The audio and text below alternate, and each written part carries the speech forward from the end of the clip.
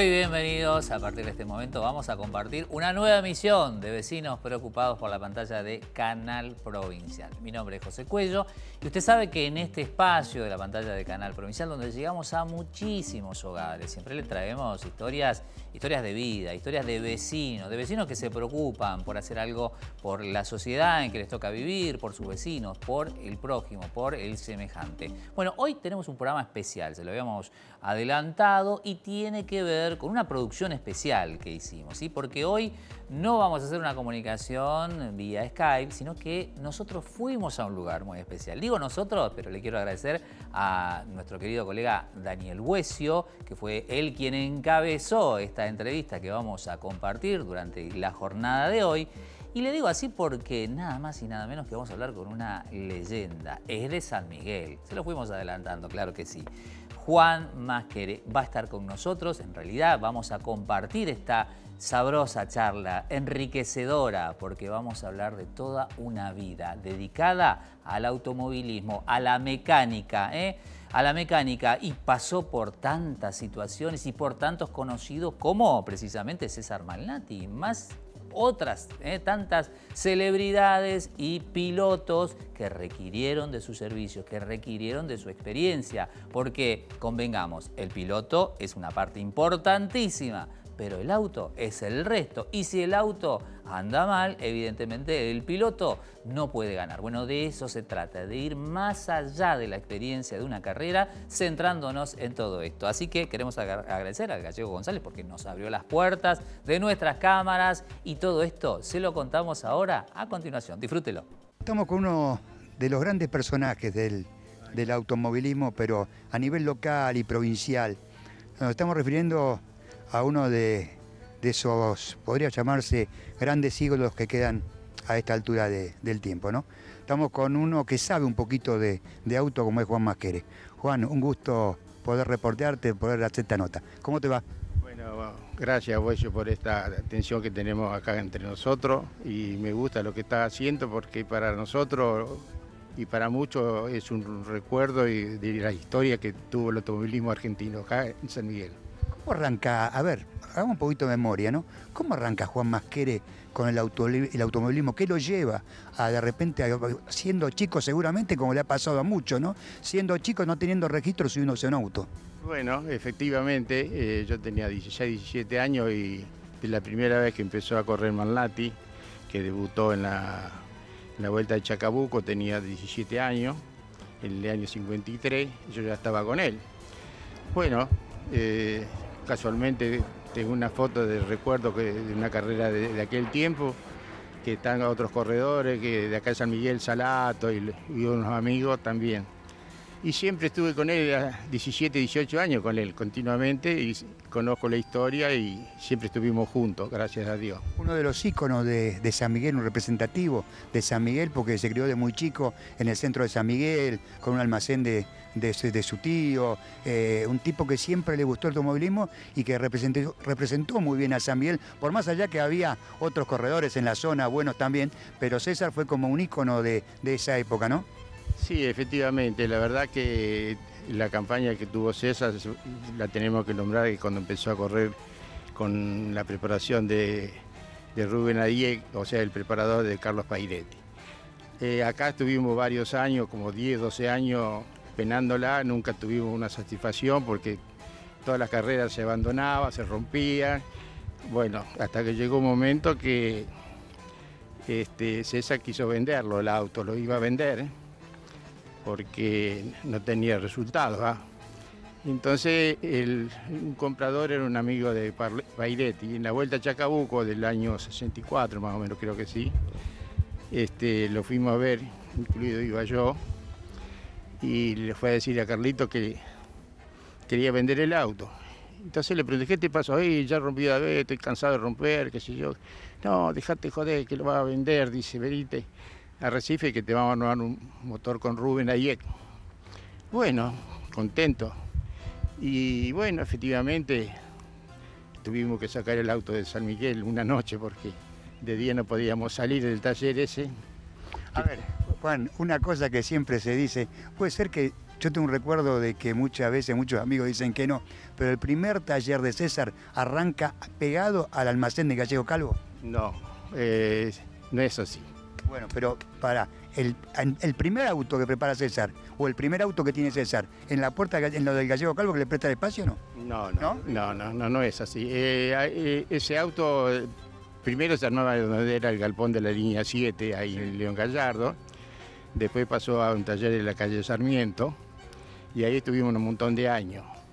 Pero de ahí cuando lo sacamos del auto para llevarlo a Recife, este, fue y se puso el motor que le dio Carlito, pero el auto no servía para nada. Entonces se resolvió, este, casualmente ayer le dice, mira, dice, yo no te doy más el motor, pero tenés que cambiar ese auto, que eso es una trampa, qué sé yo. Ah, tenés que hacerte un auto nuevo. Y bueno, efectivamente, entonces se organizó y ahí al lado donde estaba el almacén, ahí en Sarmiento y Mitre, este, donde está la calecita ahora, había un galpón y ahí se hizo el taller para hacer un auto nuevo. Ahí se construyó el auto nuevo. Este, honestamente, ahí se construyó el auto y tuvo que venir un mecánico de, Recife, eh, Osvaldo de Ángelo que casualmente se vino a vivir a Casa Miguel con su señor y sus hijas. Y ahí se, empezó a construir el auto que es la Zulba. Y este, bueno, ahí estaba el chapista León, Pontoni, yo colaborador de Osvaldo, y no había más gente sacando que trabajara en el auto, había los que venían a mirar y todo Mucha gente, mucha gente de San Miguel, cuando empieza a correr, se, se acerca, quiere dar una mano, quiere, bueno, seguramente habrá mucha gente para nombrar, ¿no? Vidig, gente que estuvo en ese momento o todavía no había llegado a ese momento. Sí, sí, no, efectivamente había mucha gente de colaboradores. El hermano Vidig, Rionda, eh, Tusi, qué sé yo, había mucha gente, la verdad. Aparte ya se estaba formando una peña, que fue la autopeña del Trevo. Bueno, cuando se terminó el auto de construir acá, en ese lugar, todo bajo el mando de, de, Angelo, colaborador yo fui siempre de él, estuve trabajando mucho en el auto, se pintó también todo, salió terminadito de acá, sin motor, sin mecánica. Casualmente lo tuvimos que cargar en Muñiz, en la plataforma del ferrocarril, para subirlo y llevarlo en un camión al Recife. Bueno, este, casualmente el auto fue con los colores de, de Pairetti, azul y blanco, que eran los colores auténticos. Con un, arriba en el parabrisas, arriba del techo, decía San Miguel Arrecife. Este, porque la verdad que la gente de Arrecife se, se portó muy bien con, César. ¿Había auspiciante en esa época? ¿Gente que apoyara poniendo publicidad en los autos o no se estilaba mucho en ese momento? Sí, había algunos, sí, sí. Casualmente él cuando estaba en Arrecife consiguió una propaganda gema, de cosechadora gema, que, se la dio Bailetti, se la hizo conseguir. Y bueno, sí, había, había, había acá en San Miguel había que colaboraba nosotros, estaba la Peña que colaboraba bien, se trataba de hacer juntar, hacer viajes, este, cuando corría César iban colectivos grandes de Chivalier, que era la los traía Alfajeme. ¿Cuál es el despertar de Malnati? ¿Cuándo despierta Malnati para empezar a verse en los primeros planos, que, te nombre Turismo Cartera, que te nombre el avión de... no, indudablemente, indudablemente nosotros, los de San Miguel, los amigos, los que fueron seguidores de César Malnati, este, estamos muy agradecidos y se lo debemos a Pairetti. Eh, Malnati cuando empezó con el, estando en el equipo de Pairetti preparado por Rubén Ayek, este, de entrada nomás, cuando la primera carrera que corrió ya salió sexto. La segunda con el 13 salió segundo. Y después la, la tercera y la cuarta ganó la Vuelta a Santa Fe. Bueno, sabemos que... O sea, se veían la diferencia que podía llegar a tener un auto de los primeros a lo que fue estos autos no, no, no, indudablemente. E, esa fue la, segundo, la segunda vida de Malnati. Y ahí es donde fue Malnati, porque los 12 años, 13 años que estuvimos penando en San Miguel fueron malísimos de terror, porque nunca ni siquiera llegábamos a Pilar. ¿Se acercó más gente en esa época cuando...? Muchísima, muchísima gente porque se hacían eh, fiesta, fiesta o cena o, o asado en Club San Miguel, en el Club Italiano, se hicieron muchas. No, se acercó mucha gente, sí. A ver, ¿cuál es el día eh, cúlmine que vos decís, Malnati llegó a San Miguel arriba un camión de bomberos? Bueno, cuando ganó la Vuelta a Santa Fe. Casualmente acá tengo una foto, este, eso fue inolvidable. Yo creo que San Miguel, la Plaza San Miguel, no digo que estaba llena, pero la mitad estaba seguro, porque fue un recibimiento en la municipalidad de San Miguel por el intendente Tesi y fue una algarabía total. Y ahí Malnati, viste, aparte que siempre lo quisieron porque fue una persona de bien. eh, un buen tipo. Respetuoso, alegre, tenía, viste, era simple, no era ni tampoco, viste, eh, bueno, buenísimo. Y bueno, ahí, fue el- el- el- para mí el éxito que tuvo Malnati y ahí honestamente fue cuando la gente reconoció la- lo, lo que era Malnati para nosotros en aquella época, ¿no? ¿Se entiende? Sí. Porque vos ahora le preguntás cuánto quiere Malnati y nadie sabe. Y por eso me gusta lo que estás haciendo vos, Juan, para recordar y por qué es Malnati.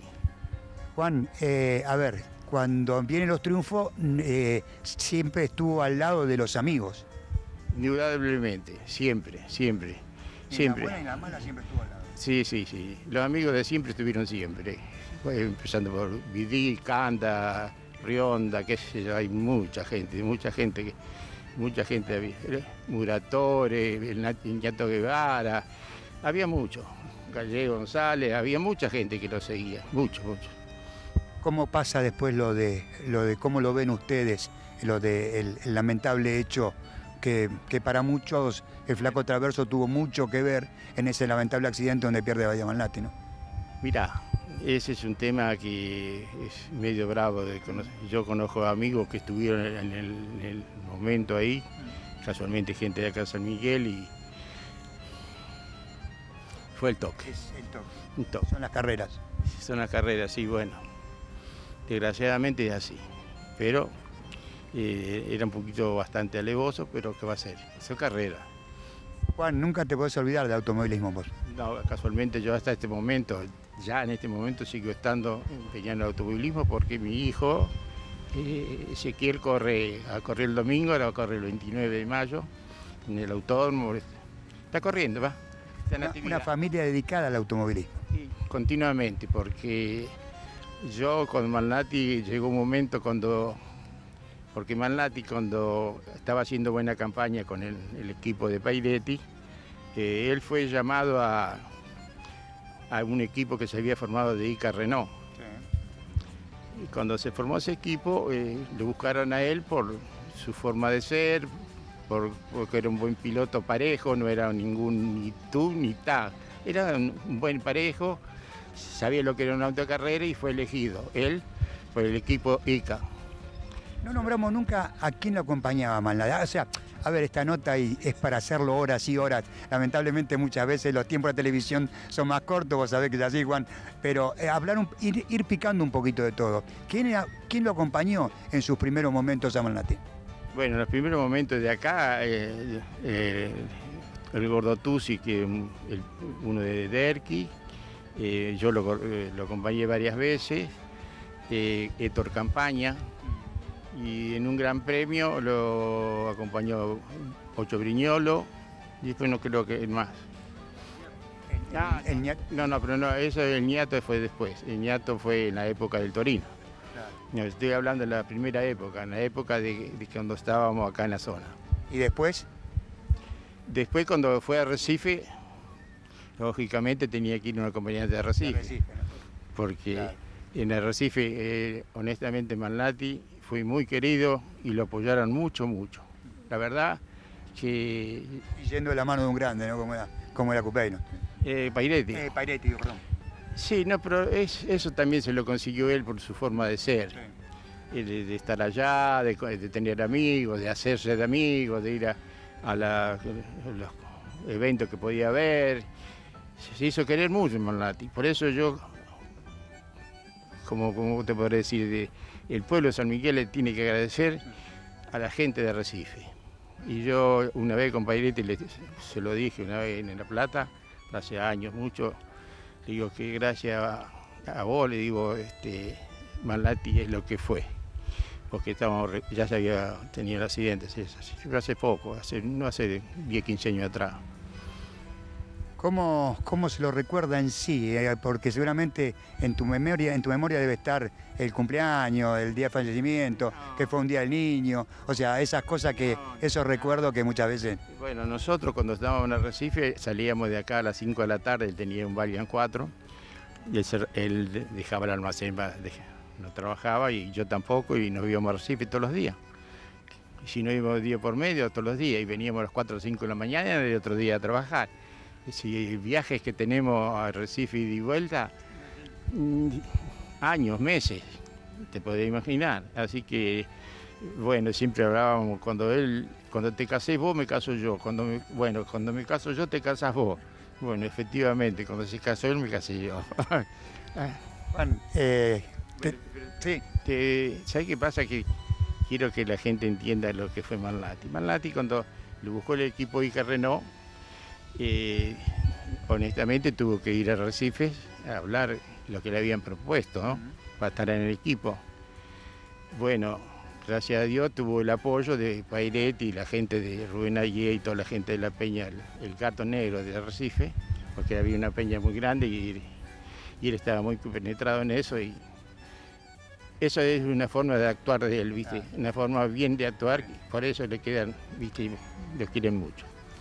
Y bueno, le dijeron que sí, no va a perder, la oportunidad de, de lo que te ofrece Ike Renault. Y efectivamente, en ese nos adoptamos y él fue que trajo el auto acá a Buenos Aires, a la calle Oro, donde está la ICA, y ahí pusieron el primer motor Tornado. Y entre paréntesis, yo también fui acoplado al equipo. O sea, estuve subvencionado, no, no, no, no fui de, de, atrás, no, a mí me pagaba ICA. Sí, sí. Este, pero yo estaba en todo, llevar el auto, traerlo y hacer un poco lo mandado. Y me habían dado una, ¿cómo se llama la camioneta grande esa? Una Gladiator, pero con, un motor cuatro cilindros. Tornado para experimentar. Que eso no salió fácil. Por eso son, anécdotas que, y, vivencias, ¿no? Eh, Juan, queremos agradecerte esta, poder acercarte acá, poder, poder, hablar con, poder hablar con nosotros para contarle un poquito, un poquito a la gente lo que es, lo que ha sido César Malnati y bueno, en tu persona eh, y este, este homenaje que te quieren también realizar tus amigos. Homenaje en vida, decir, che, hablamos una tarde, nos juntamos a tomar un café con con Juan y, nos contó un par de historias vividas con, ese grande automovilismo que fue el Malnati, ¿no? Vos me preguntaste recién por los acompañantes que tuvo.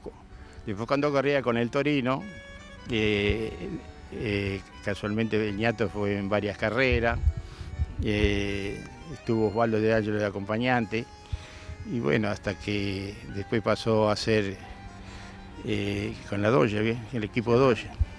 Ese es otro, otro, otro, tramo. Gallego, vení, incorpora tu minuto, un minuto acá que estamos cerrando la nota, pero, pero bueno, queríamos que, o sea, este, este, gracias por, brindarnos este espacio, este lugar para poder un poquito hablar con, con Juan, que era una charla que habíamos tenido hace mucho tiempo nosotros dos, pues tenemos que hacer una nota, tenemos que hacer una nota y bueno, hoy se dio la posibilidad de poder hacerlo acá en tu casa. Así que gracias por, por prestarnos el espacio, por convocarlo a Juan y bueno, un poquito de los recuerdos de todo, ¿no? Juan es un, un luchador, toda la vida le gustaron los fierros.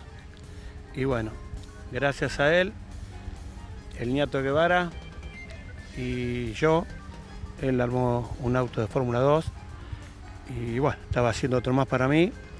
Y el nieto tuvo el accidente, terminaron de vuelta el auto. Y bueno, el nieto no quiso correr más. Y Juan me dio la oportunidad de poder correr hacedor también de, piloto. Está bien, a lo mejor no, fueron como pensaba, Juan, pero, pero, era un amigo. Bueno, eh, bueno yo con, lógicamente después uno con Manlati cuando él ya estaba en, otra cosa, viste, yo me dediqué a, preparar, no, a fabricar. porque no era preparada, yo sé, eso se hicieron todo en mi, taller, ¿viste? De pie a pa. Y bueno, eh, el que debutó fue primero el ñato. Cuando debutó en las flores, les peleó, les peleó que hay costa, que hay gente que... A Barragán y a Bula. A Barragán y a Bula, que eran los autos del Club Argentino. Este, casualmente ese día... O sea que tenía auto para andar peleando ahí. Claro, ese día casualmente estaba Malnati porque corrían los prototipos, nosotros corríamos ahí. Y venía el acompañante de Osvaldo de Ángelo, me, me, pedía por favor que lo sacara al ñato que se iba a matar, cómo anda ese tipo, decía, es una barbaridad. Bueno, y andaba bien, peleándolo, porque están las fotos que lo, dicen, no, lo digo yo. Juan, queremos... y veo una persona que me agarra de atrás, llorando, y era César. Él no creía que... Que lindo. recuerdo, lindo recuerdo. Juan, muchísimas gracias por esto, porque tengo que cortar porque ya, eh, gracias por esto, gracias por este, por este recuerdo que llevas y refrescás de, de muchos amiguelinos seguramente que van a estar cuando vos contés haciendo tus palabras, lo van a hacer en imágenes, seguramente en la mente de cada uno que se van a contar eso. Muchas gracias, Juan. Lo mejor para vos, ¿eh? Y dale para adelante. yo te agradezco a vos y me gustaría que no abandones esto porque hay mucha gente, muchos que corremos en auto, que corrieron, tienen su historia y es buena, qué sé yo, me, gusta, me, mostrar un poquito más porque, qué sé yo, vos sabés que yo siempre ando en el automovilismo, hasta casualmente ahora, ¿viste? No ando en actividad, pero yo tengo, voy a la carrera, voy a verlo, voy a ver el auto. No aflojes, Juan, no aflojes. No, y, ¿viste? Un abrazo grande. Igualmente, gracias a todos.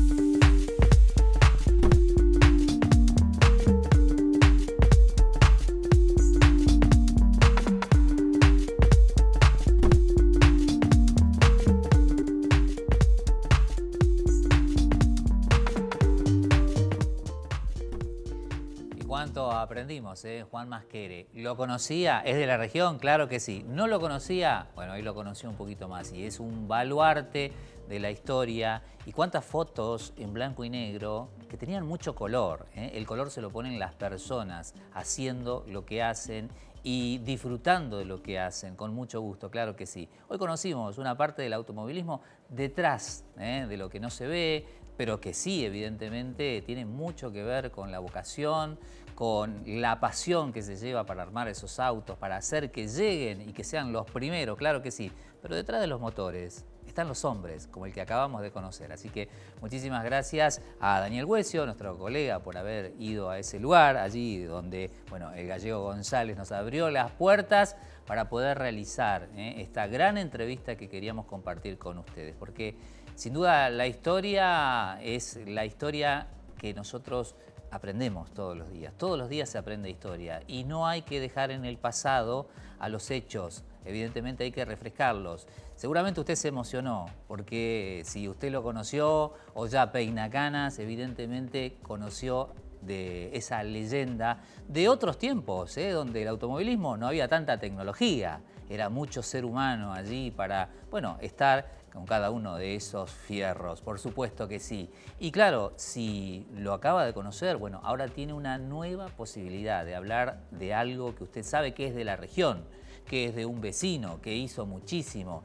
y que sin duda alguna puede ser un ejemplo de tenacidad, de seguir adelante, ¿eh? en las buenas, en las malas. Evidentemente, durante la entrevista se recordaron cosas no tan positivas, pero que forman parte de la vida. Y eso es la historia, una historia local, una historia que se lleva adelante con eso, con el hecho de recordar. Y por supuesto, todos, ¿eh? todos quienes lo conocieron, quienes lo conocen ahora o quienes están de alguna manera descubriéndolo en este preciso momento, César Malnati va a estar en el corazón de muchísimas personas. Y sabemos que a partir de ahora, de algunos más, porque quizás hemos despertado quizás la, situación de que vayan y que googleen y que sobre todo las generaciones nuevas, ¿no? Y que estén, bueno, con toda esa historia del automovilismo local. Y Juan Masquer, bueno, qué decir, si allí lo vimos, ¿eh? con tantos años.